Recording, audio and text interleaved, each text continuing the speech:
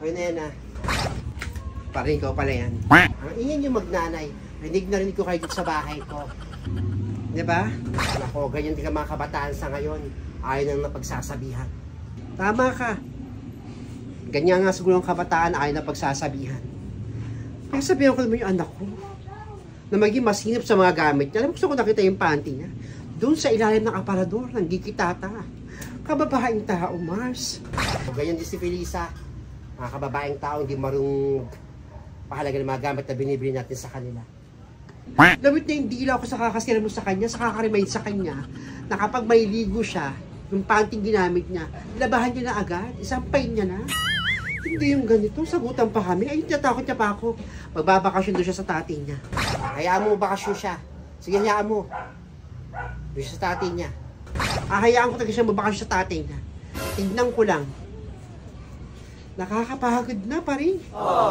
Nakakapagod na Mars. Dito ako sa baba, papalamig ako. Ayokong sa bana. Baka ano lang magawa ko sa anak ko na yan. Tama yan, doon ka kay Negra, magpalamig ka. Sige Mars, sige na.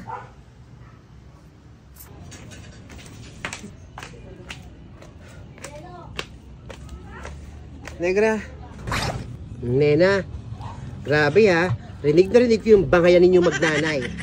Hanggang dito, hanggang doon sa kabila siguro iskinita, rinig yung hiyawan ninyong dalawa. Wala eh. Ayaw kong pakinggan ng anak ko. Nagsisigawan kami. Ni-remind ko lang siya sa man na maging masinop sa kanyang mga gamit. Pero mga panty ko kung saan saan, kung saan saan ko nakita. Minsan yung mga panty ko ginagamit niya, hinahayaan ko na lang eh. Ito maglalabas sana ako, nakita ko isa lang yung panty. Nakita kasi mga panty niya. Yung pagtingin ko sa apartment doon sa ilalim. Ako yung anak mo talaga, napakatigas din talaga ng ulo eh. Naku, hindi ko alam kung anong gagawin sa kanya negra. Lahat na lang, naku, labit, naku, ayoko na magsalita. Mga kabataan talaga ngayon. Hayaan mo lang siya, sige. Ako, huwag tayo mapagod mag- magpangaral sa mga yan. Mapipikon ako. Parang wala na akong karapatang magsalita bilang nanay. Okay, nena. Ang ingay nyo naman magnanay. Naririnig ko yung sigawan ninyo rito sa baba ng bahay ko. Alam mo, nena, dapat kinausap mo yung anak mo ng mahinahon nila sisigawan kayo. Iba na ang kabataan ngayon. Kapag lagi mo silang pinapagalitan, sinisigawan sila, mas lalo sila nagiging rebelde. Nako, umeksela na naman si Feli kahit hindi mo siya kasali. Kasi naman, Nena, inispoil mo yung anak mo. Alam mo, kahit nag-iisa lang yung anak mo, dapat tinuruan mo sa mga gawaing bahay. Hindi yung, my goodness. Yung anak ko, si Julie, kilala niya ako, maldita akong nanay. Ayun, lumaking matino. Kaya kahit damit niyang pinagpihisa lang, bra niya, lahat nilalabahan niya. Na gusto kong matuto siya sa buhay niya. Sige na, hayaan mo mabakasyon yung anak mo dun sa binan mo nang malaman niyang hirap kapag ikaw ay nasa ibang bahay. Tignan ko lang kung di matuto yung anak mo at hanapin ka. At babalik kayo sa, sa kandungan mo. Hayaan mo mabakasyon yung anak mo. Pasensya ka na nena kung nangihimasok ako. Pero maganda eh. Kausapin mo yan ng anak mo ng mahinahon. Mga ayos. Mag-usap kayo. Dadalawa na lang kayo eh. Nag-aaway pa kayo. Reminder lang yan sa akin ha. Salamat Peli sa mga sinasabi mo. Nandito lang ako kung kailangan mo ng tulong. Nako, kaya kong pangaralan yung anak mo kung di, kung di mo kaya. Maraming salamat. Sige. Ay nako, Nena. May point si Feli. Tama si Feli sa mga sasabi niya.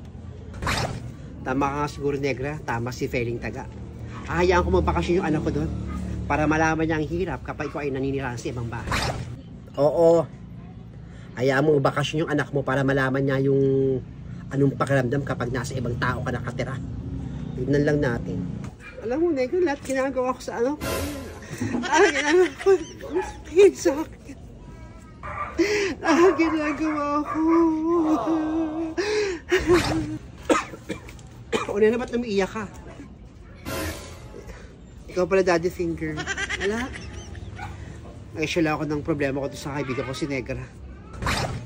Ah, ganun ba? Hello daddy finger, magandang gabi. Magandang gabi rin sa iyo, ah, Negra. Ba't naman problema? Nagtalo kasi kami ni Ninita. Naku, nagtalo naman kayo magnanay. Huwag mo na isipin yun. O, ba't ka ba na... Parito eh, gabi na. Wala, kaya ako nandito dahil ibigay ko sa ito. O ano yung daddy finger? Saan galing yan? Nagkaroon kasi kami ng meeting dun yung mga tanod dun sa munisipyo eh, nagbigay ng grocery si Mayor. Oh, para sa iyo pala. Oh, nakuha mo naman pala sa munisipyo eh. Oh, ba't bibigay mo sa akin? Kakaya sa mga kapitbahay. Sige na, tanggapin.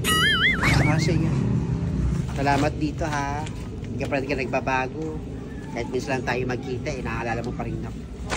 Ako, kayo laging nag-aaway magnanay. Magmahalang kayo, dalawa nang halang kayo. Oo. Tapuan na naman namin ng anak ko yun. Pero mamaya maayos din. Kilala ko yung anak ko na yun. Pero since nakauo na ako magbakasyon siya sa bahay ng papa niya, ahayaan ko muna siya. So wala ka kasama sa bahay niyo, baka gusto mong samahan kita. Tayong dalawa lang. Ano? Kaya ko naman mag-isa dyan, Daddy Figure, parang si Rato. Kaya ko mag-isa doon. Sige na. Doon naman si Nena. Sige na. Sige na, bye-bye. Salamat dito ha.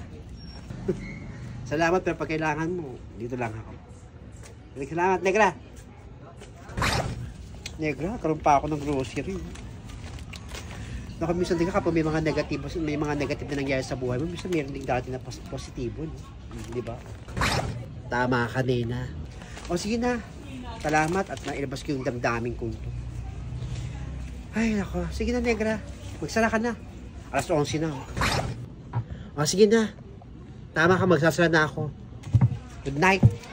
Good night.